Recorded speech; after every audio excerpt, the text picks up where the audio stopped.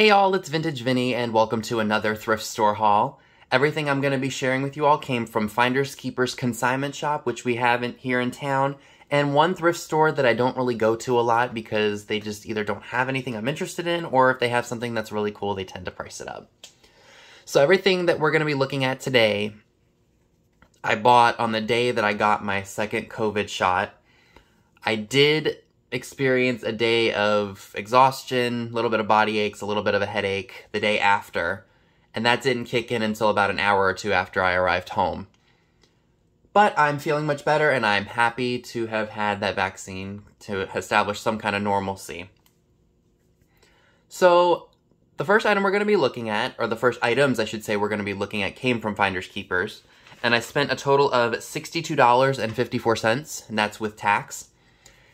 What's really funny about these first four items, these are Blenko, like clear ice cube looking candlesticks. They were on their clearance rack for $23.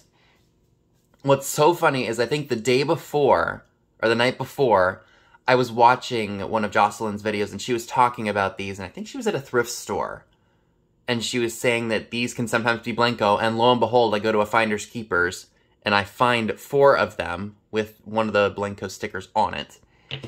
Now, the only thing I'm not sure about is if I should sell all four of them together or if I should do like sets of two. Because I know they're all Blenko because they all look exactly the same.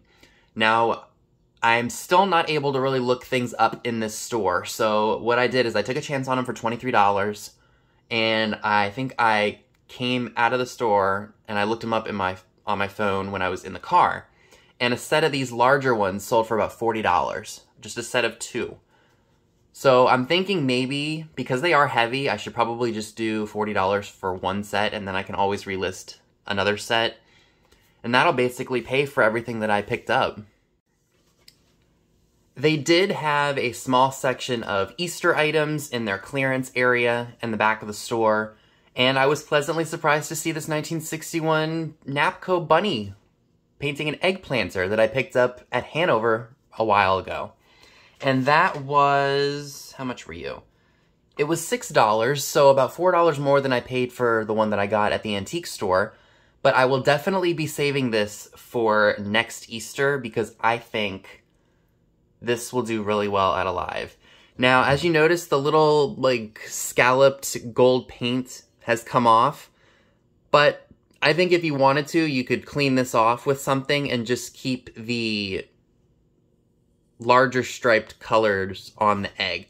There's no cracks, no chips. Their Napco sticker is on the bottom. The lettering is a little smudged on the bottom. And I don't want to take that foil sticker off. But it is in really good condition and it would look great in Easter vignettes. So I'm really excited to have found another one of these because I really like mine. I just didn't want to sell it. If you all remember a while back, I did pick up another one of these plaques that had a tuna fish on it in the ocean. And I found the leopard one and I was like, ooh, that's really, really cool. I've never seen that one before. And I remember I was showing my mom the stuff that I got when she got off of work because she works from home now. And I think I was packing everything up to bring it upstairs. And I remember hitting something on the countertop and I didn't know exactly what it was. And I thought I heard something break but I wasn't sure what it was exactly. And come to find out, I did this to it. But it doesn't affect the the cheetah or the leopard itself, so I still think it might do pretty well. Um, you know, I do sell damaged things, whether I did it or the way I found it, or or if I found it that way. This is a Napco piece, and this was, I think, $3.40. So we will see what happens. I mean, this damage is, it's damage, obviously, but it doesn't affect the leopard itself. So I think someone will still really like that. And I've seen these plaques, the tuna one didn't do too well, so that's why I put it in a sale. Um, I might list this one, maybe despite the damage, for maybe like $15, $16 and see if anybody takes an interest. because even though this is damaged up here, it's still you can still see it and you could probably touch it up too if you wanted. So next to the Blenko candlestick holders, this was my most expensive item at Finders Keepers. I did pay $18.90 for this really awesome piece. I believe it is a handmade item. I think it was supposed to either be a bank or a planter because there is a hole on the bottom.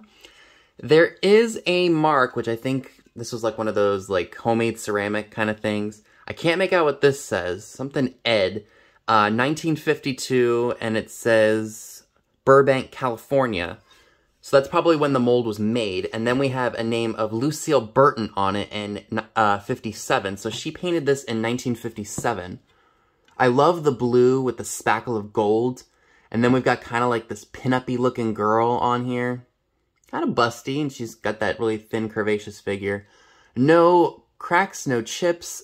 I will definitely be keeping this for myself. But um, I know it seems like there was a lot, or that what I paid for all this stuff was a lot. I did buy a Lolita beer glass that was in the original box that has some really significant value on Amazon. So I'm not sharing that because that's not vintage, but it's gonna definitely help me make a profit on the stuff that I bought at Finders Keepers. I've never seen this before. I just I really like it. It's different. It's something I've that I've never seen personally. And I just think it would look great in mid-century stuff. So that is everything that I got at Finders Keepers. Let's go ahead and check out the stuff I got at the thrift store.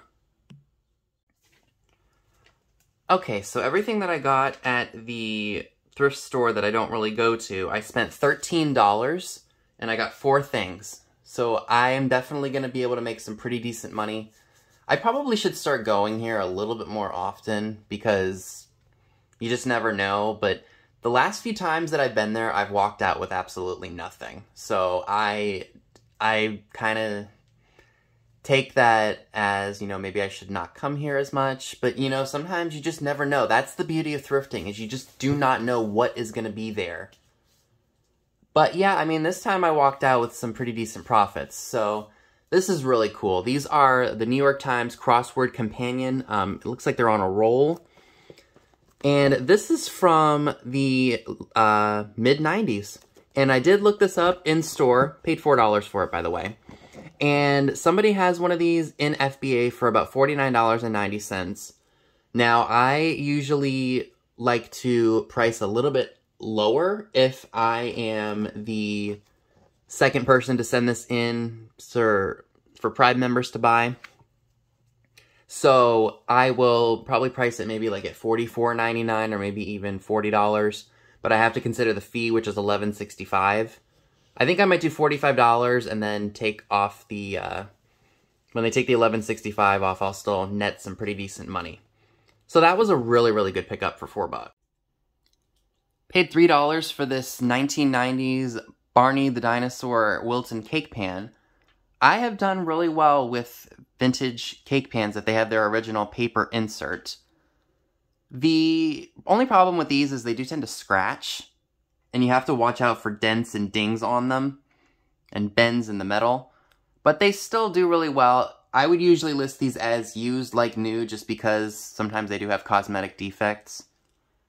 But these can do really well depending on who it is. So if you happen to see these and they have the original paper insert on them, look them up because some of them do have a really good value.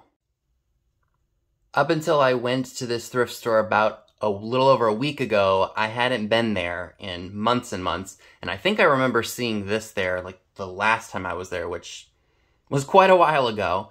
This is a Napco turkey planter, probably from the 1960s, judging by that foil sticker on the bottom there. And I paid two bucks for it, so I will definitely be selling that around fall time. I am trying to look for seasonal items when I go out to the flea markets and the thrift stores and the antique stores, if I can get it cheap enough, because I know that people love to decorate for the holidays and vintage is usually better. Not to say that the modern things we get nowadays are bad, but I like that you can kind of mix it, and that's what I like to do. Like, I have some more modern things, and I mix it with my vintage, because a lot of the modern things that we see now weren't made back then, So it, it's fun to kind of mix and match it and make it look cool. So yeah, pick that up for two bucks. And the last item we're going to be looking at in this haul is this really nice frosted clear glass butterfly. I did pay $4 for it. I'm not sure that the thrift store knew that this was a Fenton piece because there's the Fenton mark right there. But I will definitely be saving this for next spring. It is a really nice piece, nice pressed glass, really nice quality, no cracks, no chips, very intricate and detailed. And I felt that $4 was a steal of a deal. Now, if this had been like that blue, I probably would have kept it for myself, but I will definitely be saving this for next spring. So that is everything that I would like to share with you all today. Let me know in the comments section below what was your favorite item or favorite items I shared in this haul. So that's all I have for you today. Be sure and give this video a big thumbs up, leave a comment below, subscribe if you haven't already. Be sure and click the bell next to the subscribe button if you'd like to get notified when new videos are uploaded. Be sure and check me out on Instagram, the link to it is down below as well, where you will see pictures of items to come in future haul videos. Thanks so much for watching, and I'll see you all soon. Bye, guys.